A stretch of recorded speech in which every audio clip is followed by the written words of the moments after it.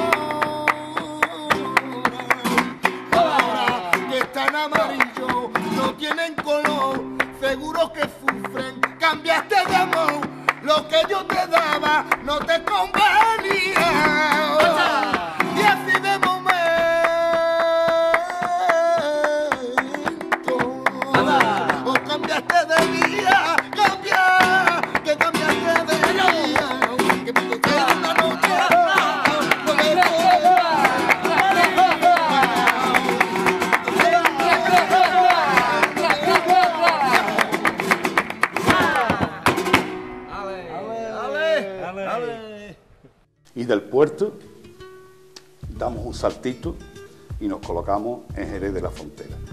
Eh, quizá hayamos tardado mucho, ¿eh? pero como además a mí es un artista que, siempre me ha apasionado, eh, pues quizá lo hemos tenido ahí eh, aparcado hasta que ha llegado el momento que podamos ofrecerle la biografía. Como siempre solemos decir también, ¿no? biografía resumida, porque como ahora es el caso, para hablar de, de, la- de, la- de la- de las vivencias y de la trayectoria de este artista, tendríamos que tener muchísimo tiempo. Así que a veces nos las vemos y nos las deseamos para resumir, eh, como ahora ha sido el caso, la, la biografía de Fernando Terremoto.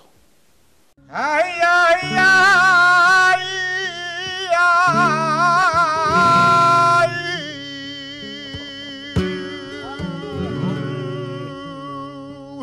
Fernando Fernández Monje, de nombre artístico Terremoto de Jerez, nació el 30 de marzo de 1934 en la calle Nueva del barrio Santiago. De su hermano Curro Terremoto, Canelín, le viene el apodo. Estaba emparentado con lo más ilustre de la gitanería honda de Jerez, sobrino de tía Juana la del Pipa, tío Parrilla, el Borrico y María Soleá. Fue creciendo a ritmo de bulerías al decir de uno de sus biógrafos. De niño, con seis años, cantaba y bailaba por unas monedas junto a su amigo Romerito de Jerez. Uno cantaba y otro bailaba y luego pasaban la gorra. Un día que estaban inmersos en una de sus actuaciones callejeras, los descubrió Jesús Antonio Pulpón. El empresario sevillano les ofreció su primer contrato en un tablao de Sevilla. Fue Un cantador irregular como otros que cantaban a impulsos de la inspiración, pero cuando cantaba bien, era un genio. Así lo explica Manuel Morao. Yo creo que era todo intuitivo. Lo tenía todo dentro, lo tenía en la sangre, lo tenía en el alma, lo tenía en el corazón. Era un hombre que no sirvió más que para cantar. Él no sabía leer ni escribir, no sabía hacer nada más que cantar. Cantar bien cuando le cogía bien y cuando le cogían mal, lo hacía muy mal. Cuando estaba inspirado y tenía esa luz que no sabemos lo que es, entonces lo que echaba fuera era brillante, una cosa extraordinaria. Fue un ser elemental y primario y cantar era lo único que sabía hacer. Cuando murió su madre, a quien adoraba, en el entierro permaneció sumido en un mutismo atroz hasta que rompió gritando desgarradoramente por seguirillas. Sus comienzos artísticos fueron como bailador en el espectáculo Retablos Juveniles. A partir de los 50 empezó a ejercer de cantador en ventas y colmaos y en 1958 grabó su primer disco que le reportó una gran popularidad alternando sus estancias en su tierra natal con temporadas en tablaos de Sevilla y Barcelona. Perteneció también a los conjuntos de los tablaos madrileños de los Canasteros y el Duende. Fue un gran cantador de adelante, pero también lo era de atrás, y no se le caían los anillos cuando había que cantarle a Angelita Gómez, como lo hizo en tantas ocasiones, o a Solera de Jerez, en los primeros Juegos Florales del Flamenco en 1968, en la Terraza Temple, por poner algunos ejemplos y reflejar la dimensión de Fernando. En el concurso internacional de arte flamenco celebrado en Jerez en 1962, obtuvo el premio Isabelita de Jerez, Volvió a Madrid a finales de los 60 como primer cantador del tablao Las Brujas. Realizó diversas grabaciones y, de nuevo en Jerez, se convirtió en una de las figuras estelares de los festivales andaluces desde que, en 1965, le fuese concedido el Premio Nacional de Cante de la Cátedra de Flamencología y Estudios Folclóricos Andaluces entidad que también le distinguió con la Copa Jerez y la Orden Honda en 1968 y con el Premio El Gloria en 1972.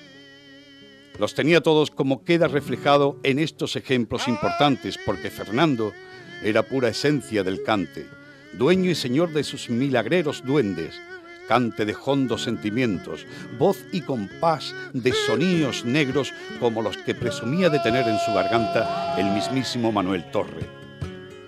El 4 de septiembre de 1981 cantó por última vez en Jerez en el espectáculo Jueves Flamenco dirigido por su cuñado Manuel Morao, que generalmente le acompañaba de manera ideal por la gran compenetración que existía entre cante y toque.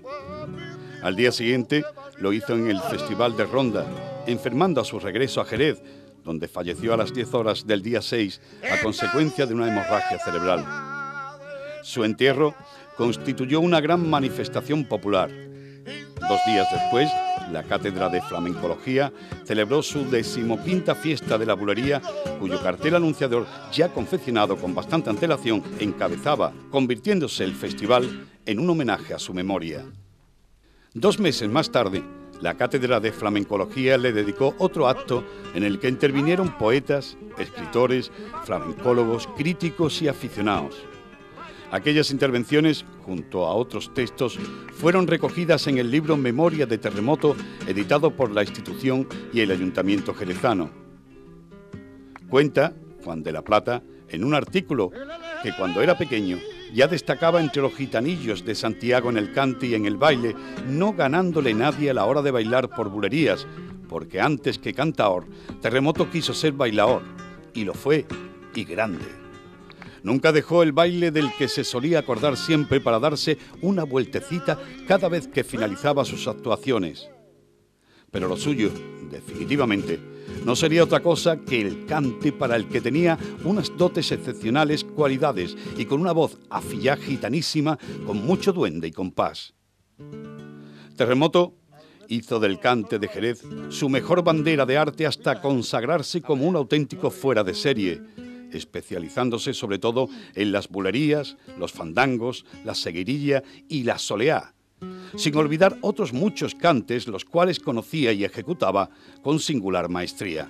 Terremoto tuvo una larga carrera con un nombre y un prestigio conquistado de tal manera que puede decirse que además de haber sido un gran cantador para los aficionados que sabían distinguir, era también cantador para los propios cantadores, pues allá donde actuaban los artistas, sus compañeros, las figuras del cartel se quedaban a pie de tablao para escucharle embelesados. Fosforito o Menese, por ejemplo, se emocionaban con el cante del gitano de Santiago. Cantador de tablao y de festivales, de teatros y fiestas bodegueras. Fernando Terremoto, el grande, como lo llamó Juan de la Plata, fue un fuera de serie del cante jerezano. Atesoraba en su garganta todos los quejíos y los duendes de sus antepasados de tal manera que su eco rompía los silencios y encendía la nieve del escalofrío y sobrecogimiento. Tuvo momentos realmente memorables, como aquella vez que cantó junto a tía Nica en el palaciego patio de Columna de Campo Real, en un homenaje que De la Plata organizó a la vieja maestra del baile Mariquita Lucena, con su colaboración y la de otros estupendos artistas amigos. Terremoto nació para el cante y puede decirse que murió cantando. Fue un gitano peazo pan y un artista irrepetible que alcanzó momentos sublimes en actuaciones inenarrables. Ole, ando.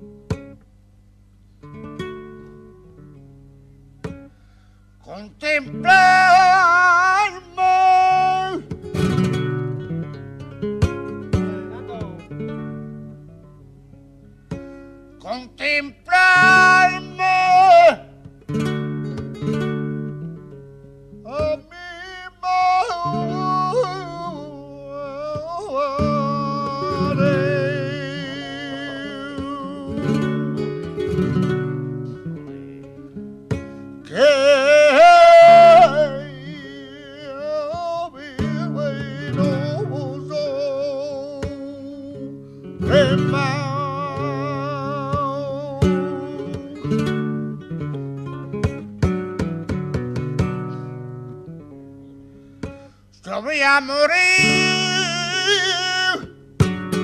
Santo. Yo a morir.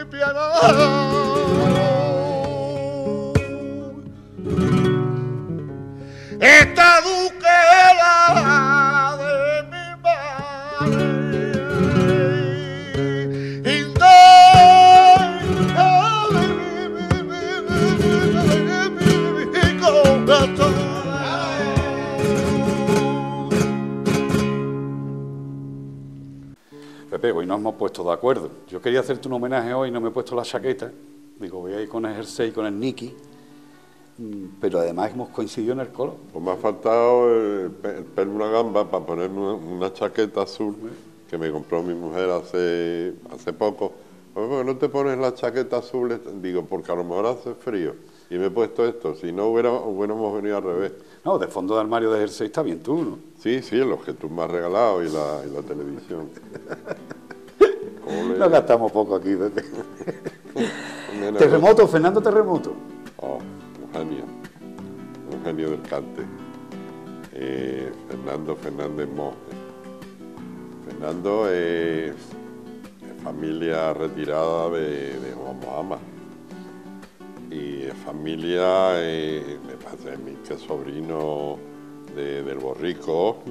En fin, es, es que está muy emparentado. En, en la biografía lo, lo, lo contamos, ¿no? Que, que el apodo le viene del hermano, ¿no? Y es su hermano. Pero no sabía yo lo que tú me has contado hace un, Sí, ratito, su ¿no? hermano se fue a Argentina, su hermano Terremoto, y, y estuvo allí mucho tiempo, dos o tres años, con, con, con José el Pañero, Pañero Viejo, el, el padre de José y de Perico. Ah, el, padre del padre de José de Perico. No, no, no, no. No, no, con, padre de con el padre. Perico, Claro, de, de nuestro amigo José. Yo digo el Pañero Viejo, le digo yo. Y estuvo porque él estuvo en Argentina, eh, no sé si dos años o tres años. Y allí coincidieron con Esteban de Sanlúcar, que ha sido uno de los mejores guitarristas de, de la historia. Otro genio. que vivió allí en Argentina. Desde que Terremoto, cuando tenía la noche, Era, era genial. pero que cuando no la tenía. No, no, claro, eso solo, oye, los, los artistas geniales no, no son constantes. A Manuel Torres le pasaba lo mismo. Cantadores de inspiración. Antes Exactamente. hemos estado hablando precisamente de eso. La inspiración y eso no se compran y se aprenden y a lo mejor podían saber menos de cante que otros, pero, pero la inspiración suya, su, su forma de cantar, eh, eh, como rompía a Fernando. Fernando ha cantado por seguirilla para comérselo. Era una cosa personal, un cante muy suyo, eh, no ha copiado de nadie. Eh, ha cantado por Soleamos apañado, por Fandango, era caracolero puro. Por Fandango hacía el Fandango de caracol, pero a su manera, con su sello personal. Por bulería ha cantado de bien. A mí me ha gustado hasta por tientos. Y bailando lo viste tú Y bailar. bailando, yo lo he visto, ah, tenías una patadita muy graciosa, muy, con mucha fuerza, porque él era explosivo. Mm. Yo estuve con él la, la noche, su última noche en Ronda.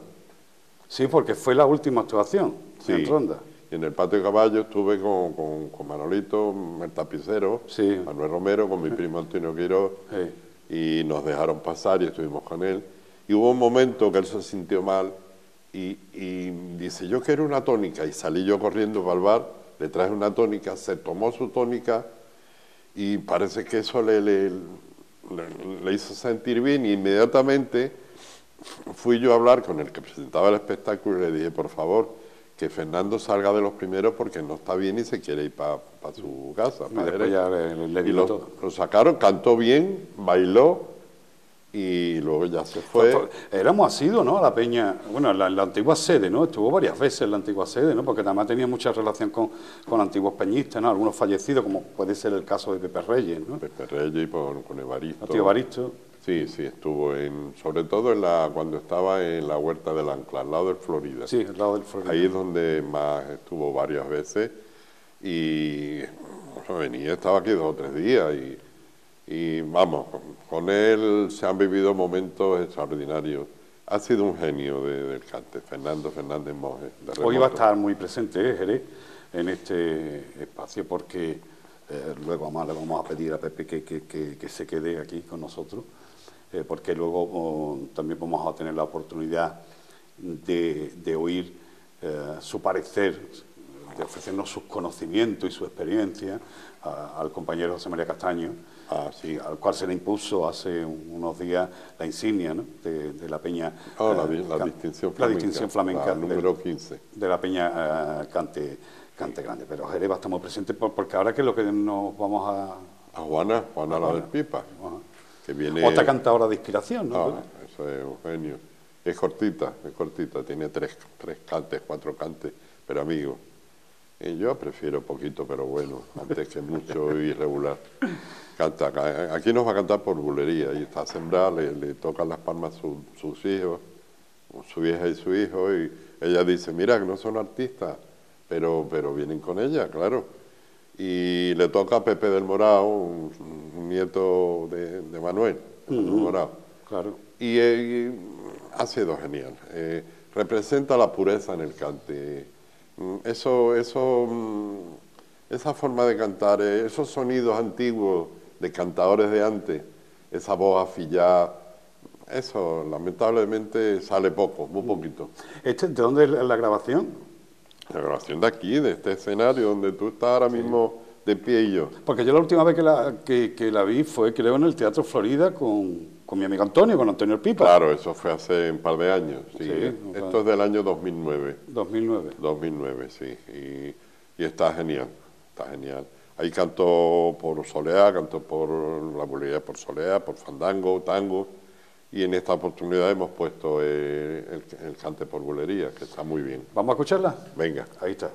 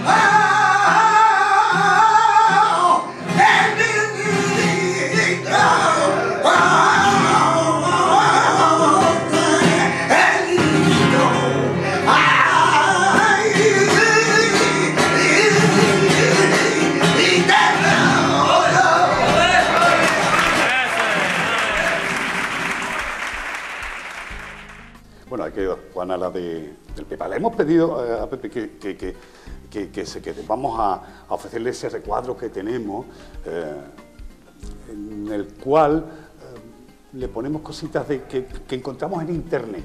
Y sobre todo, y en la gran mayoría, son grabaciones eh, caseras. Yo creo que a este artista, seguro que, lo conoce Pepe, hemos encontrado un vídeo. Vamos a poner unos nada más, porque du- dura bastante pero creo que merece la pena porque eh, además canta en la intimidad, en, en la- en las distancias cortas, ¿eh? que quizá como muchas veces hemos comentado, hemos hablado, cuando hay muchos artistas que dan la ver- su verdadera dimensión. ¿no? El Pititi del puerto de Santa María, que, bueno, familia de los sopa y eso. dicen, vamos, no creo que moleste a nadie, pero le dicen el loco. Mm. Eh, por bulería es genial, genial. De los mejorcitos de los últimos años. Y canta, mm, canta to- todos los cantes de compás, los hace bien. Bueno, pues venga, disfruten con el Pititi del puerto. Ya está de zapa, arregui pero ah, ah, ya contemplaba estrella.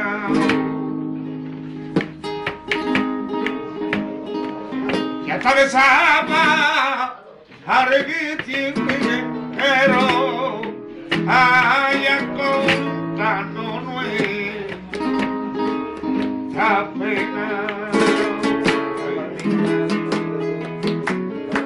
Ay, ya voy a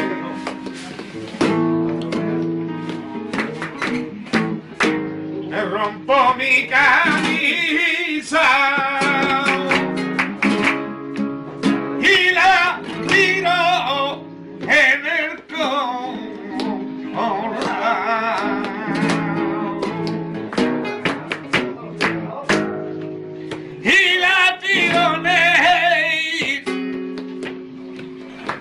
corral y a ver si viéndome cuero me tomaba tu amigo un tabaco y a ver si viéndome en cuero me tomaba tu amigo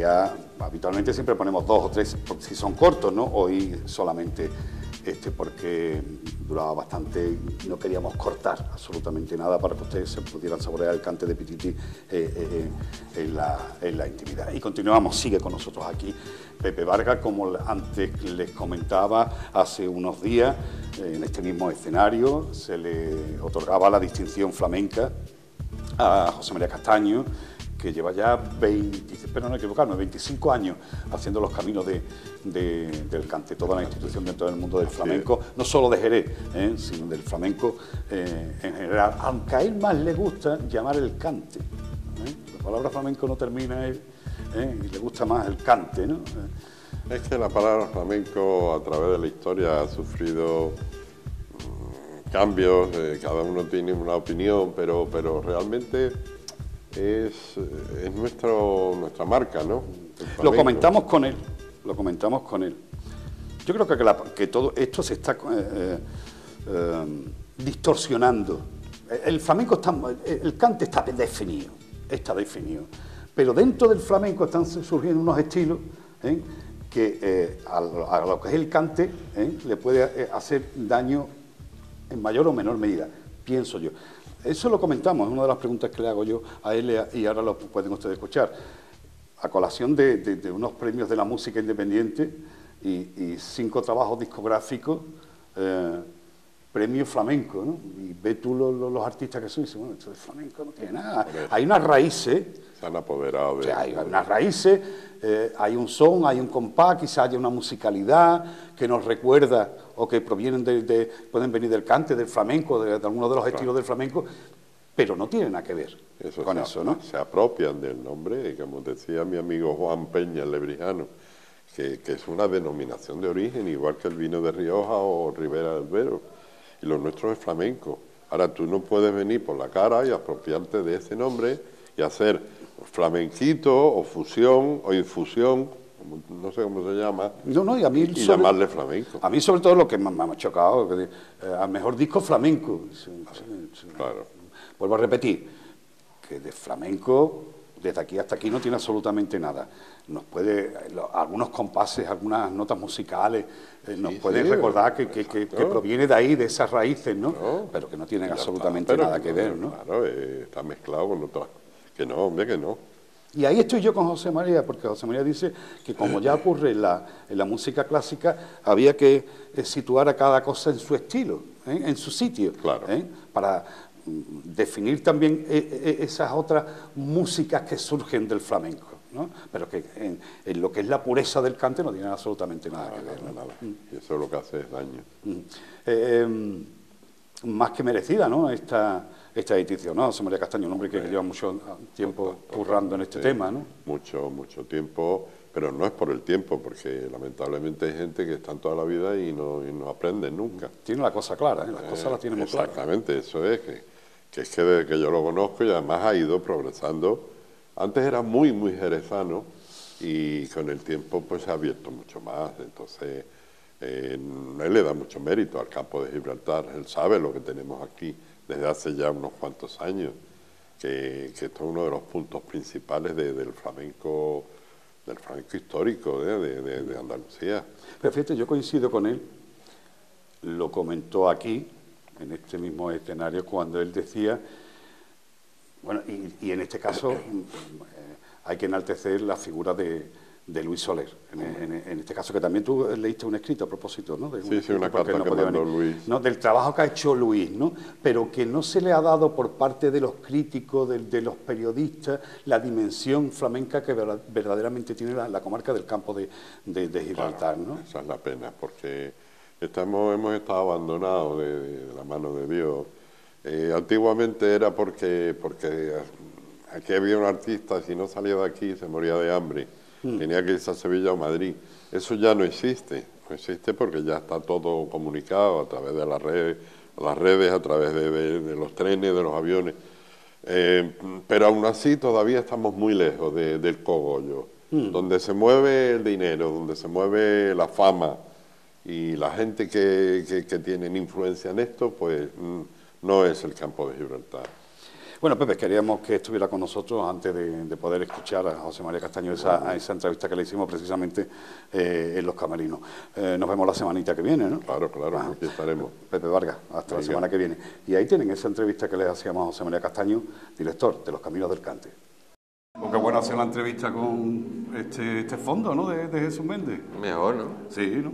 ¿Qué, estos premios qué significan, este, esta distinción en este caso? Pues primero un orgullo muy grande y después que, como solemos decir, rellena los depósitos de, de entusiasmo, de ilusión que es muy necesario en este mundo un poco complicado, muy difícil en muchas cosas, donde hay que ser muy voluntarioso, muy constante y donde a lo mejor en medios locales como el mío no tenemos los medios suficientes como tal. Entonces, bueno, todo esto es como un espaldarazo, ¿no? Como cuando te animan a seguir adelante y mira, pues, y más viniendo de aquí, ¿no? Porque yo lo he dicho que la Sociedad del Cante Grande es un importante sitio en España donde se, todo el mundo que viene se sabe que aquí el escuchar es un valor supremo, ¿no?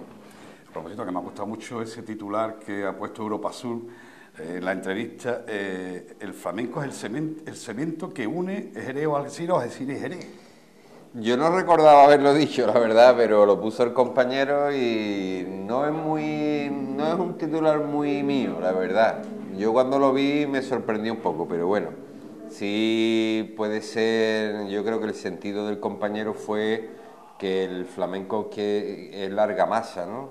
Eso que, que une las ciudades y tal, hay algo que, une a dos ciudades que aparentemente están a 80 kilómetros o 90 y pues el flamenco es la, verdadera autopista, ¿no? Yo creo que por ahí va el sentido un poco de la frase, ¿no? el verdadero camino está hecho entre Algeciras y Jerez a través del flamenco. A propósito de, los caminos del cante, ¿cómo, fue comenzar ese camino?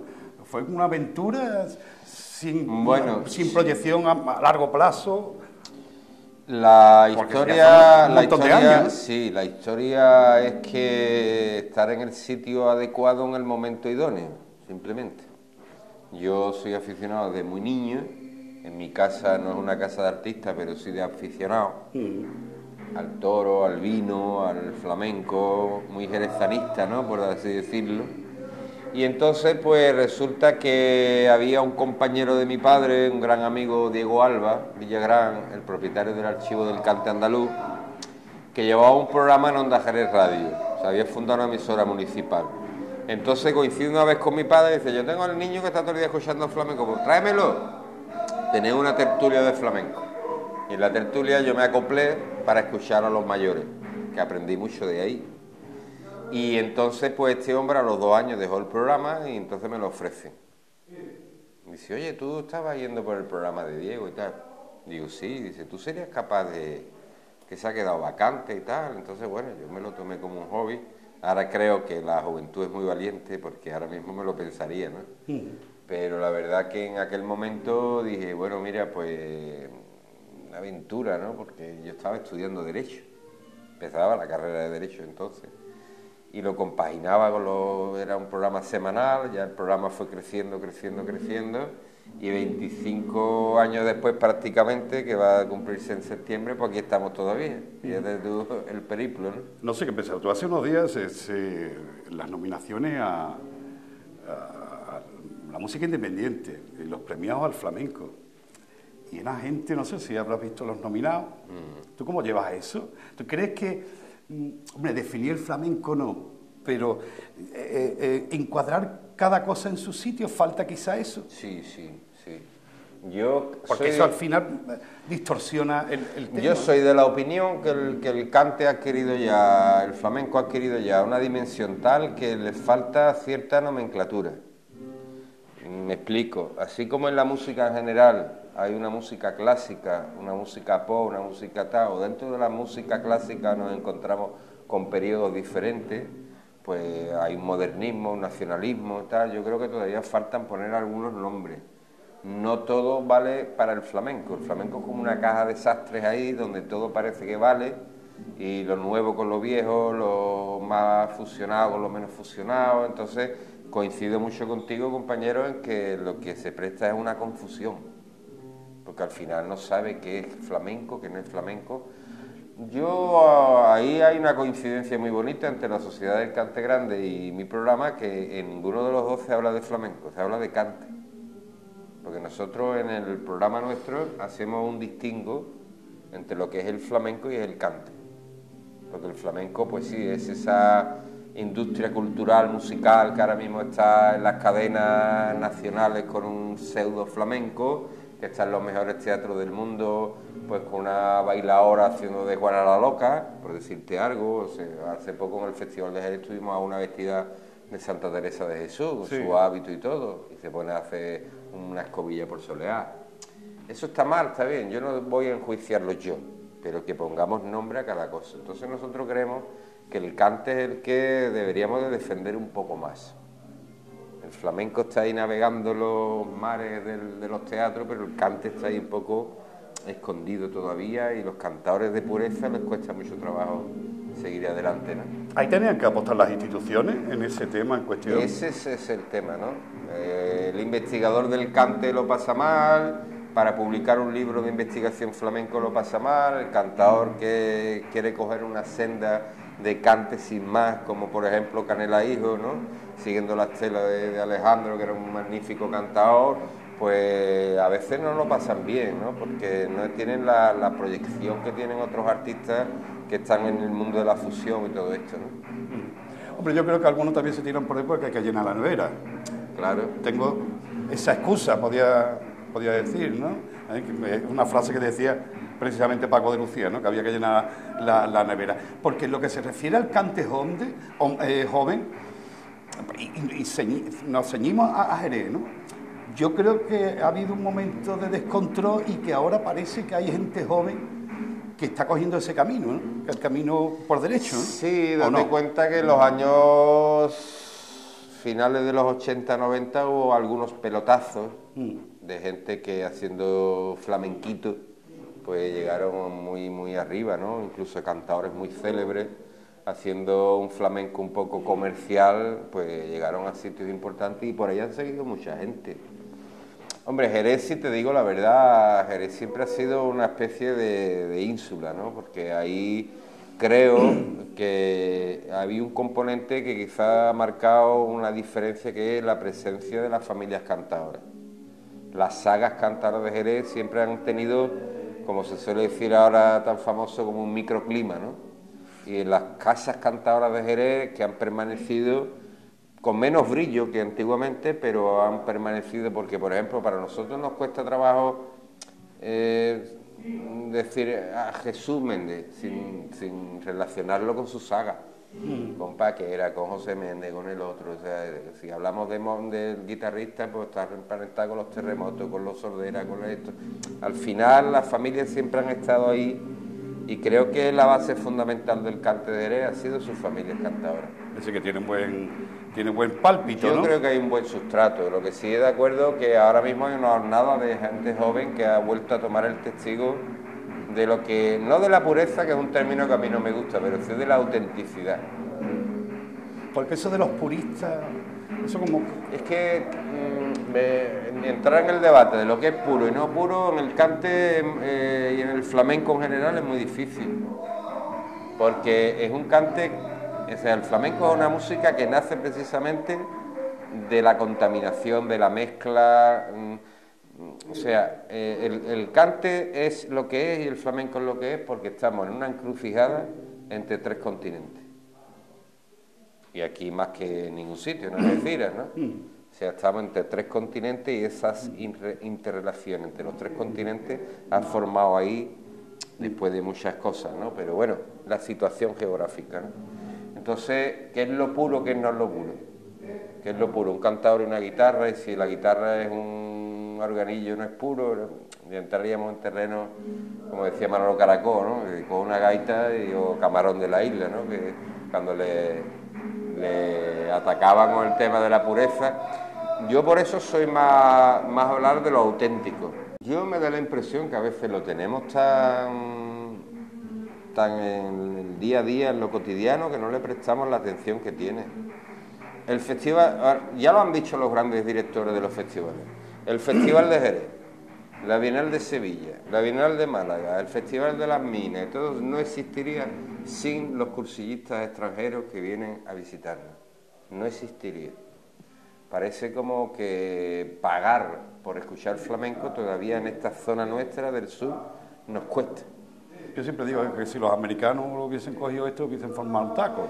Yo digo siempre una anécdota muy, muy graciosa, que yo estaba trabajando en la Feria del Caballo de Jerez, que estaba en todo su esplendor, esas casetas, la sevillana, el flamenco, que hay muchas casetas flamenco, los caballos, tal, y, estaba, no estaba en un programa de flamenco, había un estadounidense y le hicimos una entrevista, me hablaba castellano y me dijo que, que para América no comprendía que de una cosa así no se cobrara la entrada, porque allí sí hay un gasto en cultura que todavía por aquí es deficitario en nosotros.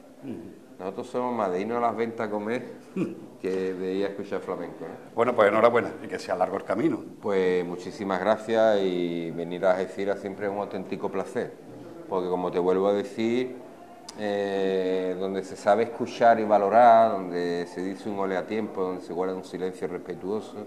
Y siempre que he venido aquí a la Sociedad del Cante Grande, después con muchos amigos como por ejemplo Los Soler, Pepe Vargas, que conozco a la antigua jornada y a la nueva y siempre he considerado que son unos aficionados magníficos, por tanto el reconocimiento a mí me enorgullece mucho, la verdad.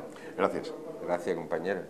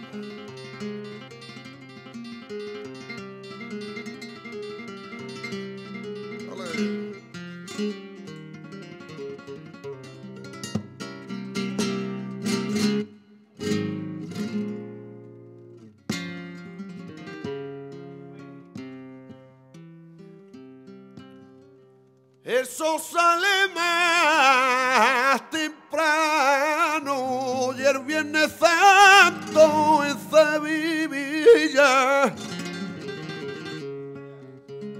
El sol sale más temprano para meterse en la capilla del Cristo de los gitanos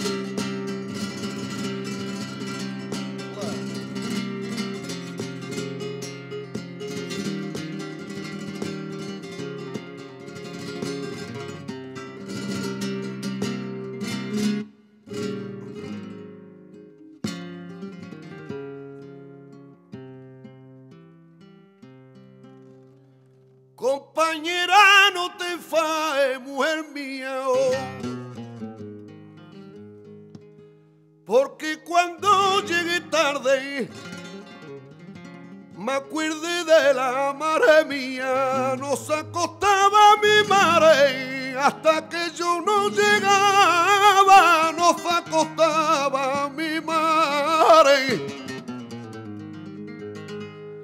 Ya mi madre me y a mí no me espera nadie. Cuando tarde ya mi casita llego yo. Oh, oh, oh,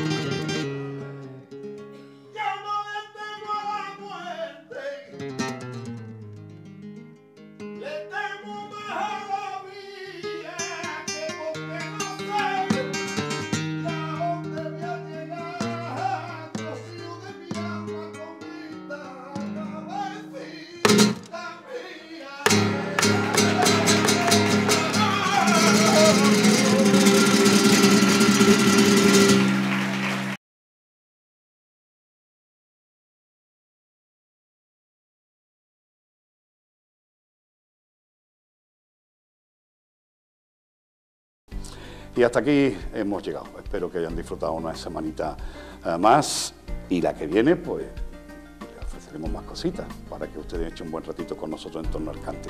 Muchísimas gracias familia.